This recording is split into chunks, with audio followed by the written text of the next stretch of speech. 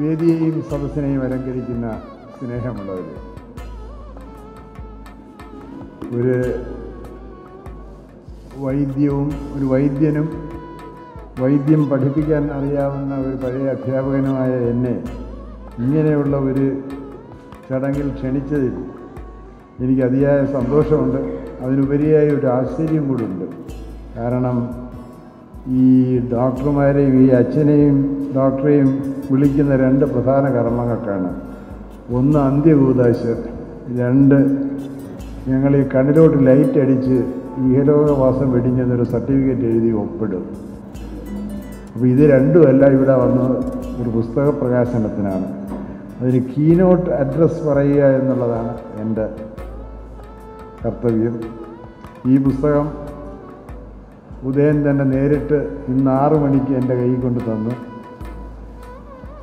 ശ്രീ വാമദേവൻ വരുന്നതിന് മുമ്പ് അദ്ദേഹത്തെ പിടിച്ചിരുത്തിയിട്ടാണ് ഞാനിത് വായിച്ചു തീർത്തത്. കാരണം വായിക്കാൻ എനിക്കൊരു സൂത്ര വിദ്യയുണ്ട് അത് മധുസാറിനറിയാം എന്റെ ഒരു അമ്മാവൻ കെ ബാലകൃഷ്ണൻ ഉണ്ടായിരുന്നു. അദ്ദേഹം ഈ സ്കാൻ ചെയ്ത് വായിച്ചു. ഇങ്ങനെ വരും അപ്പോൾ ഞാൻ ഒരു ദിവസം മെഡിക്കൽ കോളേജിൽ പഠിക്കുന്ന സമയത്ത് അദ്ദേഹത്തിനെ കാണാൻ ചെന്നപ്പോൾ അദ്ദേഹം ഓർഷോടെ ഒരു പുസ്തകം വായിക്കുകയാണ്.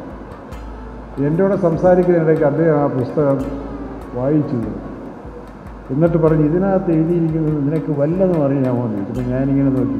നിന്റെ മോന്ത കണ്ടാലറിയാൻ നിനക്കൊന്നും അറിഞ്ഞൂടാ. അപ്പോൾ ആ എന്റെ ഒരു അമ്മാവൻ കൂടിയായ കെ ബാലകൃഷ്ണൻ ഞാൻ അനുകരിക്കുന്നത് ശരിയല്ല എങ്കിലും ഈ പുസ്തകത്തിൽ കൂടെ കടന്നു പോയപ്പോൾ എനിക്കൊരു അഭിമാനം തോന്നിയത് ഒരു ബിസിനസ് സാമ്രാജ്യക്കാരൻ അദ്ദേഹത്തിന്റെ ജീവചരിത്രം എഴുതി എന്നുള്ളതാണ്. അങ്ങനെ എഴുതിയ പലരും ചിലപ്പോൾ ഇതിഹാസങ്ങളിലോ ഇല്ലെങ്കിൽ വേദങ്ങളിലോ ഒക്കെ കണ്ടു കാണാം. എങ്കിൽ തന്നെയും അദ്ദേഹത്തെ എത്ര കണ്ട് പ്രശംസിച്ചാലും അത് പോരാ എന്നാണ് എനിക്ക് തോന്നുന്നത്. കാരണം എന്റെ പടം തന്നെ ഇതിനകത്ത് ഇട്ടിട്ട് ഒരു ഗുരുവന്ദനത്തിനായിട്ട്. അപ്പോൾ അത് അത്ര ഒരു മര്യാദ കാണിച്ച ഒരു വ്യക്തിയെപ്പറ്റി ഞാൻ എന്റെ ഗുരുക്കന്മാരെ പറ്റി ഒരു പുസ്തകം എഴുതാമെന്ന് ഒരു എട്ട് കൊല്ലത്തിന് മുമ്പ് ഞാൻ വിചാരിച്ചു. എന്റെ പുസ്തകത്തിന് സാധാരണ അവതാരി എഴുതി തരുന്നത് ഞങ്ങളുടെ നാട്ടിലൊരു കായാവിൽ അച്ഛനുണ്ട് ഫെർഡിനാൻഡ് കായാവിൽ. നിങ്ങളാരും കേട്ട് കാണുകയില്ല. അദ്ദേഹം ഇരുപത്തിയേഴാമത്തെ വയസ്സിൽ തിയോളജിയിൽ നിന്ന് പി എച്ച് ഡി എടുത്ത ഒരാളാണ്. അദ്ദേഹത്തിന്റെ സഹോദരിയുടെ മകൻ എന്റെ ക്ലാസ്മേറ്റാണ് അയാൾ ചാർട്ടേഡ് അക്കൗണ്ടന്റാണ് അപ്പോൾ അന്ന് തൊട്ടേ അദ്ദേഹത്തിന് അറിയാം. അപ്പോൾ ഞാൻ പറഞ്ഞു ഇങ്ങനെ ഒരു പുസ്തകം എഴുതാൻ എനിക്കൊരു ഉദ്ദേശമുണ്ട്. ഞാൻ അതിനൊരു ചെറിയ ബ്ലൂ പ്രിന്റ് വരച്ചിട്ടുണ്ട്. അപ്പോൾ എനിക്ക് ചോദിക്കുകയാണ് അച്ഛൻ ചോദിക്കുകയാണ് ഷാജിക്ക് എത്ര വയസ്സായി എന്ന് ചോദിച്ചു. അന്ന് ഞാൻ പറഞ്ഞു എനിക്ക് അറുപത് വയസ്സായെന്ന് പറഞ്ഞു. അപ്പോൾ ഏഴ് കൊല്ലത്തിന് മുമ്പാണ്. അപ്പോൾ പറഞ്ഞു ഇപ്പോൾ എഴുതരുത്. സാധാരണ എന്ത് കാര്യം പറഞ്ഞാലും ഒരു പോസിറ്റീവ് ആറ്റിറ്റ്യൂഡ് എടുക്കുന്ന ഫെർഡിനാൻ അച്ഛൻ എന്റെ കൂടെ എഴുതണ്ട എന്ന് പറഞ്ഞത് എനിക്കൊരു വലിയ വിഷമമായി രാത്രി അദ്ദേഹം എന്നെ അദ്ദേഹം മെയിനായിട്ട് താമസിക്കുകയാണ്. അദ്ദേഹം എന്നെ ട്രിവാൻഡത്ത് വിളിച്ച് പറഞ്ഞു അത് എഴുതണ്ട എന്നുള്ള അർത്ഥത്തിലല്ല ഞാൻ പറഞ്ഞത്. ഇപ്പോഴേ എഴുതിക്കോ. പക്ഷേ അത് പബ്ലിഷ് ചെയ്യുന്നത് ഒരു എൺപത് വയസ്സായിട്ട് മാത്രം മതി എന്നുള്ളതാണ്. അപ്പോൾ ഞാൻ മധുസാറിനെ ആലോചിച്ചു. സാർ ഈ അടുത്ത കാലത്തൊരു കാര്യം പറഞ്ഞു. സാറിന്റെ ജ്യോത്സ്യൻ പറഞ്ഞു പോലും സാർ എഴുപത് വയസ്സിനപ്പുറത്ത് ജീവിച്ചിരിക്കില്ല. അത് കാരണം സാറ് സാറിന്റെ ആ സമ്പാദ്യങ്ങളെല്ലാം ഈ ലോകം മുഴുവൻ സഞ്ചരിച്ച് ചിലവാക്കിയെന്നും ഇപ്പോൾ ഈ ഔട്ട്ഡേറ്റഡ് ആയിട്ട് കുറേ ചെക്കുകൾ മാത്രമേ സാറിന്റെ പെട്ടിയിലുള്ളൂ എന്നുള്ളതും ഞാൻ മനസ്സിലാക്കി. അപ്പോൾ ഈ എൺപത് വയസ്സ് വരെ ഞാൻ ജീവിച്ചിരിക്കുമെന്ന് കായാവിലച്ചൻ കണ്ടോ എന്ന് എനിക്കറിയില്ല എങ്കിലും ഞാൻ ചോദിച്ചു അച്ഛാ എന്താണ് അങ്ങനെ പറയാൻ കാരണമെന്ന് ചോദിച്ചു? അവൻ പറഞ്ഞു കുറച്ച് ഷാജി ഒരു പയ്യനായിട്ടാണ് എനിക്ക് തോന്നുന്നത്. ഞാനൊരു വയസ്സനായിട്ടാണ് എന്റെ മനസ്സിലിരിക്കുന്നത്.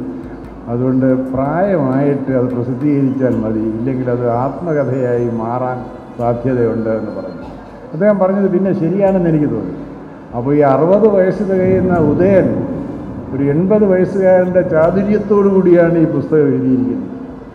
അദ്ദേഹത്തിന്റെ സ്വന്തം എക്സ്പീരിയൻസും അദ്ദേഹത്തിന്റെ ആ ജോലിയോടുള്ള ഉത്കടമായ താത്പര്യവും അദ്ദേഹം സമൂഹത്തോട് പുലർത്തുന്ന നീതിയും അദ്ദേഹം ഞാനും എല്ലാം വൈൻസ്മെൻ ക്ലബിലുണ്ടായിരുന്ന സമയത്ത് ഉണ്ടായിരുന്ന സമയത്താണ് ഞങ്ങൾ പരിചയപ്പെട്ടത്. അന്നാണ് ഗുരുവന്ദനത്തിന് അദ്ദേഹം എന്നെ ക്ഷണിക്കുകയും ഞാൻ പോകാൻ ചെയ്തു അതിനുപേ ഇദ്ദേഹത്തിന്റെ സഞ്ചാര കഥകൾ വാസ്തവത്തിൽ നമുക്ക് ആ സ്ഥലം ഞാൻ ഇദ്ദേഹം എഴുതിയ പല സ്ഥലങ്ങളിൽ ഞാനും പോയിട്ടുണ്ട്.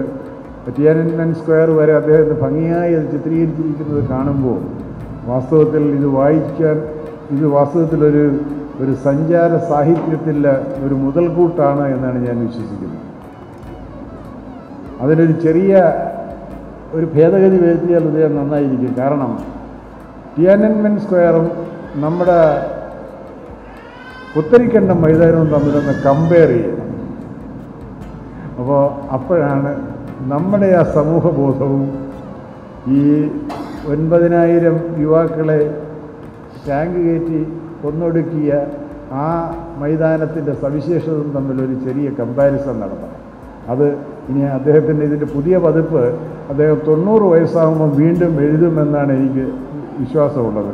അപ്പോൾ നവതി ആഘോഷത്തിനും അദ്ദേഹം എന്നെ തന്നെ അധ്യക്ഷനായിട്ട് വിളിക്കണേ എന്നൊരു അഭ്യർത്ഥനയോടുകൂടി അദ്ദേഹത്തിന് ഈ സാധാരണ വലിയ സാഹിത്യകാരന്മാർ പറയുന്ന പോലെ ഉദയന്